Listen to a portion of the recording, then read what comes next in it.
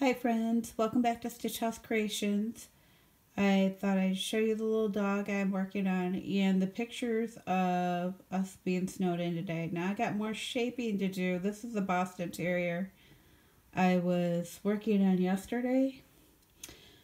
But I've got more shaping to do on his face and I need to add his eyebrows and a couple other things, but he's coming along and um, I'm going to add in some pictures of how our day is going today here. Uh, we're supposed to get, I think, another 12 inches of snow. We've got lake effect snow going on.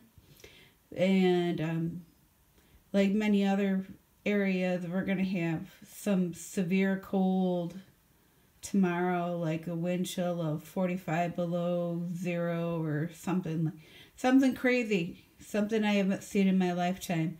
So if you are in the midst of that, please stay warm, stay inside, and don't go out unless you have to.